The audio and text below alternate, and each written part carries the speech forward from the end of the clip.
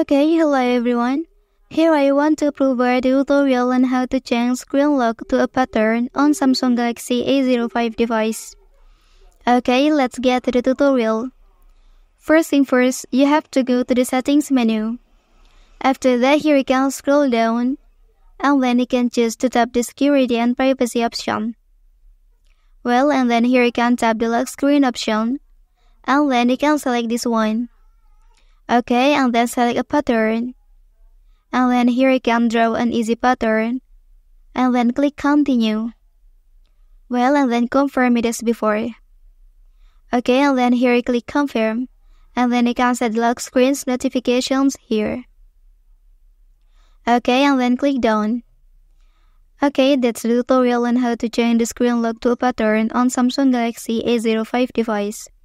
If you are helped by this video, don't forget to like and subscribe to get other information from this channel. Thank you.